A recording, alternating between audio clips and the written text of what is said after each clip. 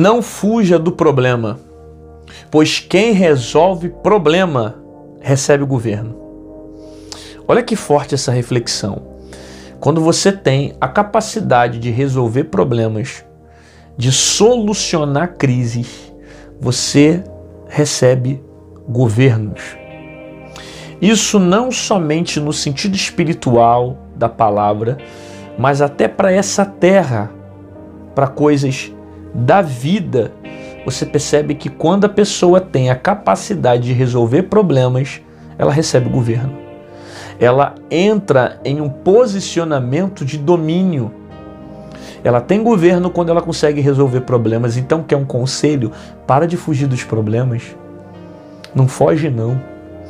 Porque se Deus tem um tempo de governo para você, você vai precisar aprender a resolver problemas. Você vai precisar aprender a resolver crises e dificuldades. E não somente os seus problemas.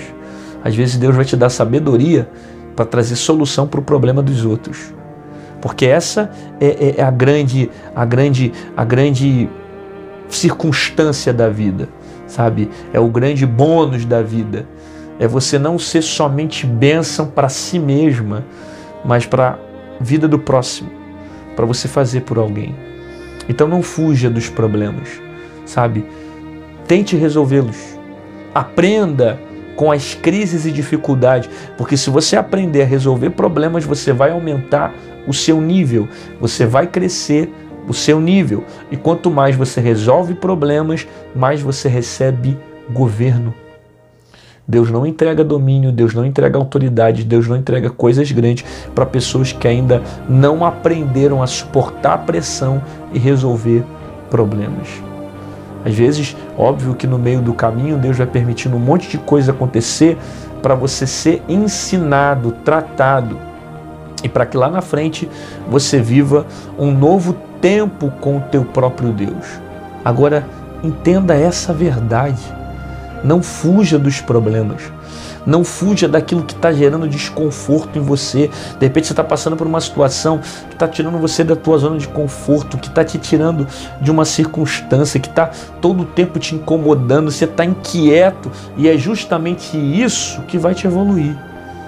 É justamente esse problema que vai te fazer crescer. Então não fuja do problema, porque só vai receber governo quem resolve eles. Deus está te preparando para resolver problemas, não somente os seus, mas também os dos outros. E após esse período de resolver problemas, você vai receber governo. Você vai chegar em alto patamar. Você vai crescer e vai ter domínio.